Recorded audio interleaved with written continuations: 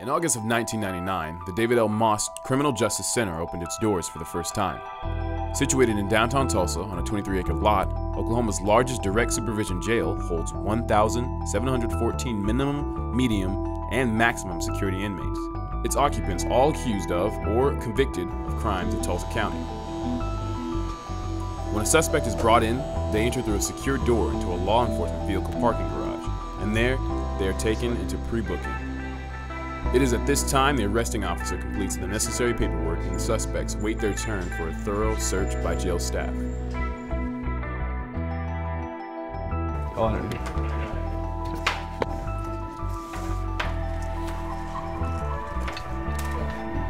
Okay. All right. You see you see your right index finger.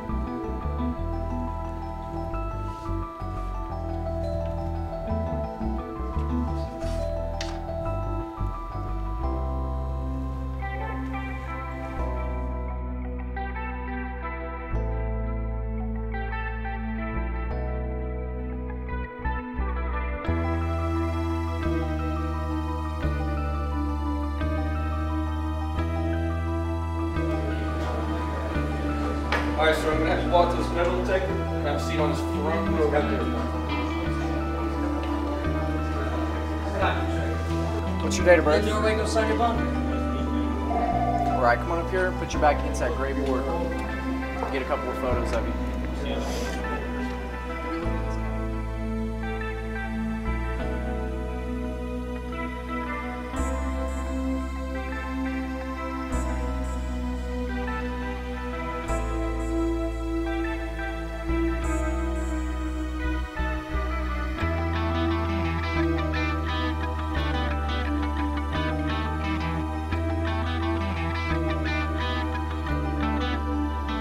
Once an inmate of the Tulsa County Jail, they are led into booking. It is here the rules of the facility are explained. and New inmates wait to be interviewed by a classifications officer, who will decide where they will be housed for the remainder of their stay. Alright, I need to go over a few things with you, ask a few questions, okay? Have you ever been previously incarcerated? No. Do you have any family members that at this facility? No.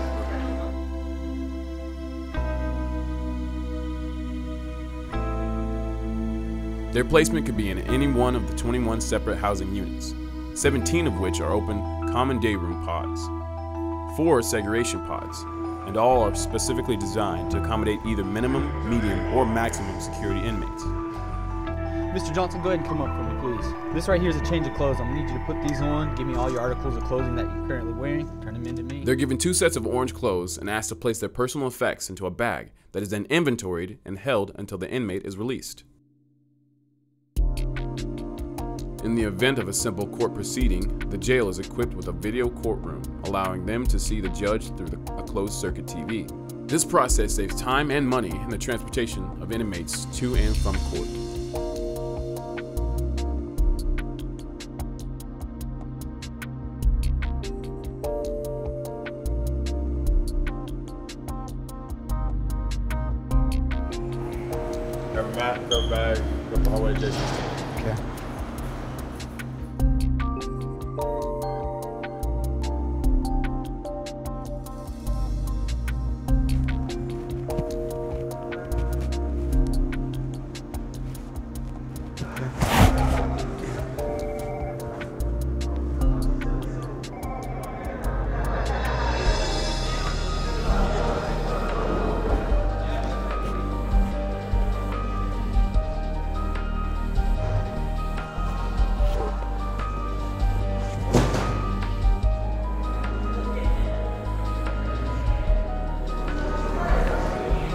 Betting 500 bucks, make you daddy. I need some soup. Let me get some soup. Man, I got you. There are no bars anywhere in the facility, and there are 11,540 square feet of skylights running through the entire building. The natural lighting brings a sense of openness to the hallways and housing units of the jail, aiding the inmates' feeling. Research shows inmates being housed in a direct supervision jail to have better behavior as a result. In the 19th and 20th century, jail facilities were designed using a linear surveillance design. This style left officers with the inability to see into more than one or two cells at a time, leaving unwanted cracks in the surveillance. In the 1960s, jail design turned to the remote surveillance podular design, placing staff inside a secure control room from which they could observe inmate activity. While providing a safe vantage point for officers to observe a large area, this design left them unable to physically respond to any rising problems or detect them before they occurred. Direct supervision is a more modern method of inmate management. While the old methods focus on keeping the staff and inmates separate, direct supervision actually ensures that they have continued direct contact. An officer is placed inside each housing unit with the inmates. In general population units, they have no physical barrier between them. The officers have frequent non-scheduled observation of the inmates. And because of the personal interaction direct supervision affords, the officers get a much better understanding of what is going on in the lives of inmates in their area. With this foresight, officers are often able to detect problems as they emerge and allows them to decide on a course of action to take, should it become necessary, and whether the jail investigation unit should become When you have 1,800 people all in one place, there is going to be some crime, and it's the jail investigation unit's job to look into every crime that occurs within the walls of David L. Moss Criminal Justice Center. Staffed by Tulsa County deputies and detention officers, this group often works with other agencies outside of David L. Moss. The Jail Investigation Unit frequently enlists the help of the officers who work in the jail's mailroom. This involves the inspection of more than 160,000 letters a year. The letters inmates receive aren't always enough. These are human beings, and as open as the facility is, they do crave contact with those outside. This is possible through civilian visitation. The David L. Moss Criminal Justice Center provides 86 non contact rooms and 20 contact visiting areas. The next area of the jail is the kitchen. This area is operated 24 hours a day and is actually staffed by the inmates themselves.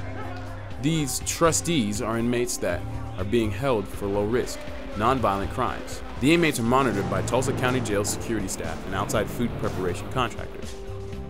The kitchen is responsible for serving 5,100 full meals each day. The kitchen has to take into consideration all the special needs of the jail religious meals, medical cases, allergies, and any other special needs that may arise. Accredited by the National Commission on Correctional Health Care, David L. Moss Medical Unit is equipped to handle any illness or injury an inmate might have.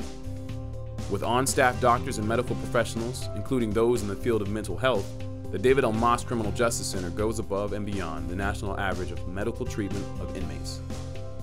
The jail provides 18 different programs for the inmates, and through the Jail Chaplain Program, almost 400 volunteers make Bible study and worship services available to the inmates.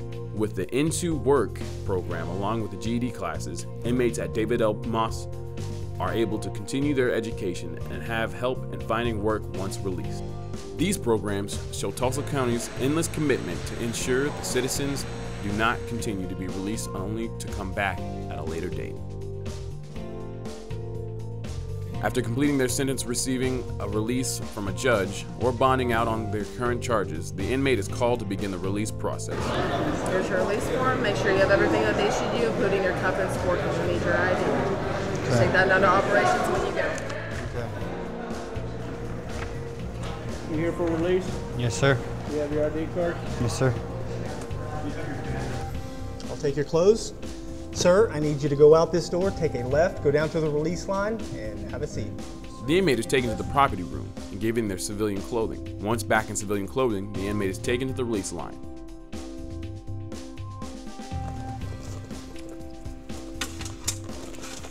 All right, would you go and stand and face that door and just stand there until you hear the buzzer and then you can push and go out. After all paperwork is checked, rechecked, and all loose ends are tied, the inmate signs their paperwork and is released from the facility. The Tulsa County Sheriff's Office is dedicated to holding its jail, the David L. Moss Criminal Justice Center, to the highest level of excellence, earning a National Sheriff's Association Triple Crown Award, an award that fewer than 40 sheriff's offices across the nation have received. Because of the vision of the office and the tenacity and commitment of its employees, the David L. Moss Criminal Justice Center has grown to become a leading force in the way these facilities are run across the nation.